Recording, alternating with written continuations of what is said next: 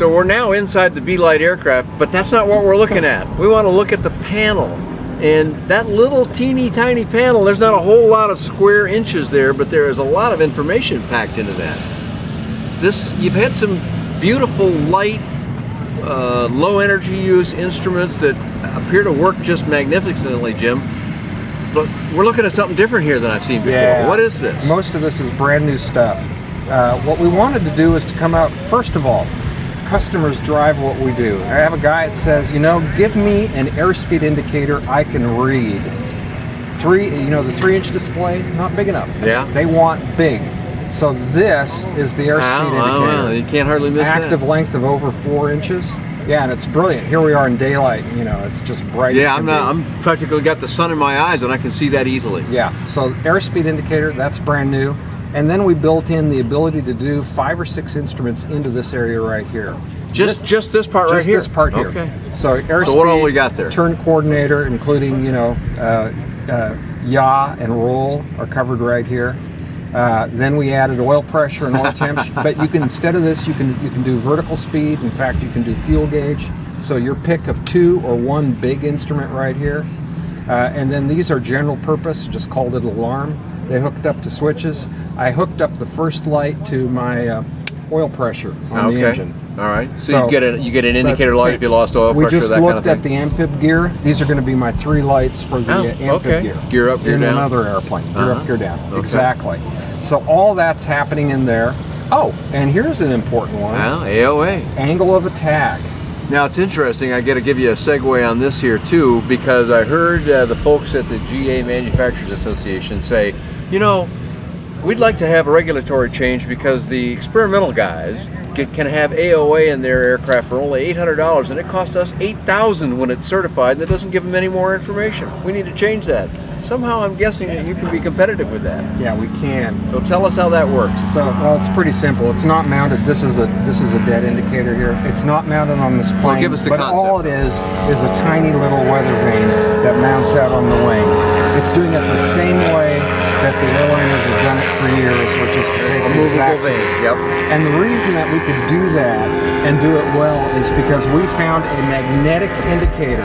So it's not sensing physical position, it's sensing the position of the magnet. It's on ball bearings. It's perfect. And what kind of money does that add, you know, when it's all done and everything, Yeah. and you add it to this existing Everything. The VSI, the turn coordinator, the airspeed, the alarms, the angle of attack, $1,500 for this box. Everything. So, uh, GA guys, we feel your pain with the $8,000 for an AOA alone, and we wish you well at getting it less expensively, Oh. but look at what we can do. And we may be sitting in, a, in an ultralight, but we can calibrate this thing all the way up to about 175 knots. Is that right? And I got to tell you, when I'm putting this thing into a dive, no, I'm kidding. It, it really does. So listen to that, Very RV high. guys, uh, Yeah. with all of your airplanes that can go quite a bit faster than the Ultra Cub we're looking at here. Yeah. You can help Yeah. them with that too. Okay, this wing is brand new too. This is a digital altimeter. Uh, let's set, here we go. We're going to set ourselves right to field elevation. Shows us what altitude we're at, and it's got like 10 features. I'm just going to show you two. Okay, good. basic altitude, and I showed you it's foot sensitive, moving it up and down. I flick the button here, it's telling me, hey, watch out, we've got 2,500 feet of density altitude Yeah. here in central Florida. Ah, well. Yeah, So- we're, we're at about sea level, so yeah, that's a at sea- significant number that we're hearing about. So guys are, you know, they're thinking I'm at sea level, and the reality is, is DA is through the roof. So, and that's all in one little box. And I Um, want to explain your comment there Go. about uh, what you said.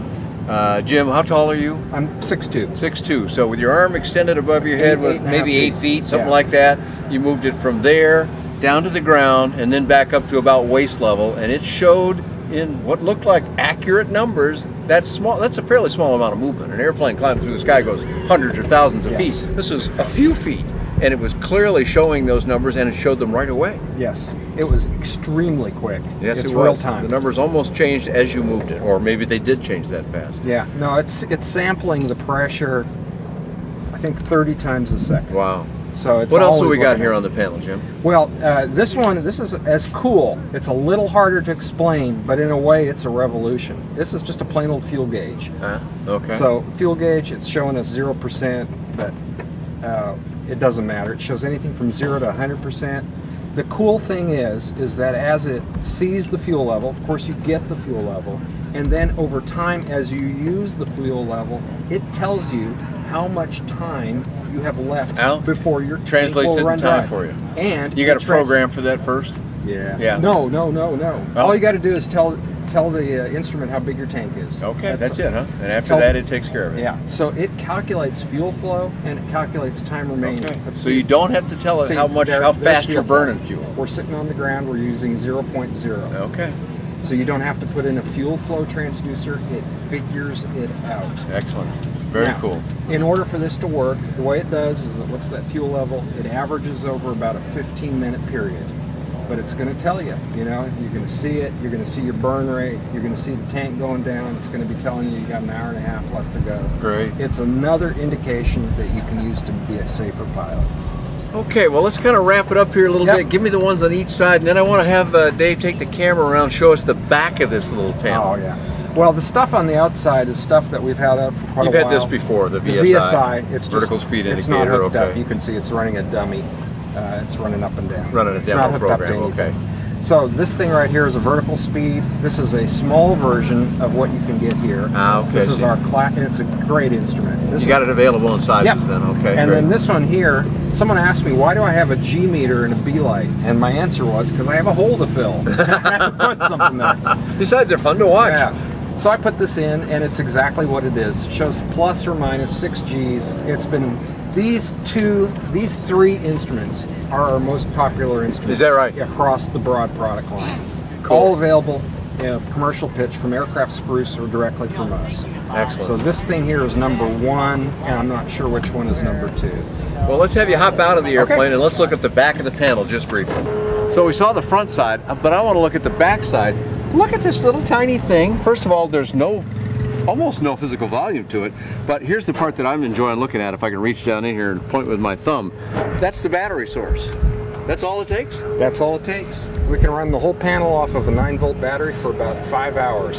Is that right? So even if you have to have another one in your pocket, this is like no big deal battery no big weight deal. wise. Well, we do expect most pilots are going to run it off of their ship power. Sure, of course. But if you're but an you ultralight can guy power the whole me, thing just with one Just 9 volt 9 battery. volt battery. That's remarkable. Yeah. Jim Wiebe's done a lot of great work with his airplane, but also with instrument panel and keeping weight down and tech up.